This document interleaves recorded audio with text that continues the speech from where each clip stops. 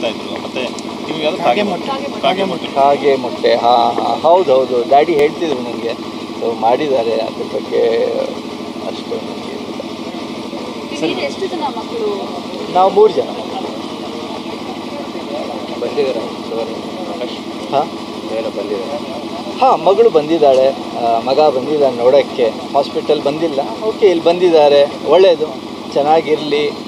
ತಂದೆಗೋಸ್ಕರ ಪ್ರಾರ್ಥನೆ ಮಾಡಲಿ ಈಗ ಅಟ್ಲೀಸ್ಟು ಬಂದವರೆ ನಮ್ಮ ತಾಯಿ ಇದ್ದಾರೆ ಅವ್ರಿಗೋಸ್ಕರನೇ ಈಗ ಏನಿದ್ರು ನಮ್ಮ ತಂದೆ ಆದಮೇಲೆ ಈಗ ಅವರೇ.